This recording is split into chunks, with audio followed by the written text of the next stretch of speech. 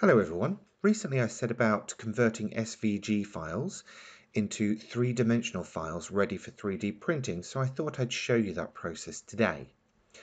I'm starting out on a website called Tinkercad, so it's tinkercad.com, and I'm creating a new design. So I need to import my SVG file.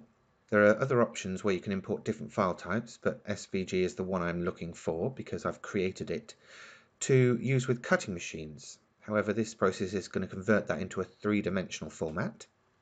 Because it was created in Illustrator, I've got the choice of art or artboard, so I'm going for the art. And then I'm setting the initial size that it's going to be imported as in um, real world sizing, so that's millimeters. And there, very quickly and easily, is my three-dimensional design of that um, doily SVG.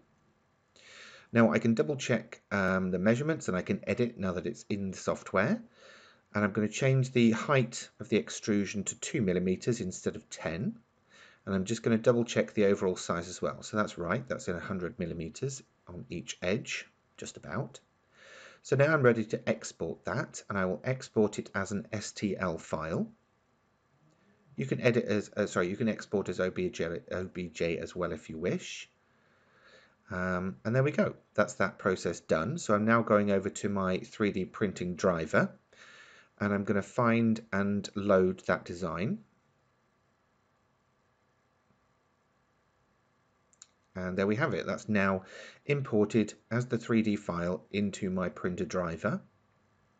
So the next stage for me to do is to slice that and get it ready for printing. So I will do that now using the printer driver software.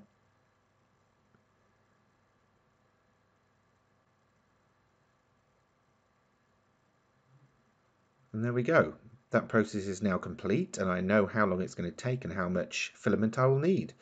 Obviously, once that's printed out, you can then use that in any of your real world projects. So for example, in this canvas, I used it as a background for the 3D printed angel.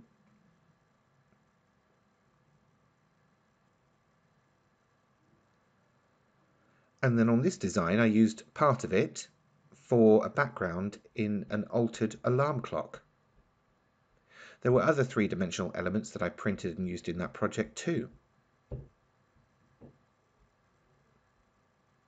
The same process will work with SVG files of words and sentiments. So that's the quick and easy process for converting SVG to STL. Thank you very much for watching. Please don't forget to subscribe, share the video with your friends and give it a like.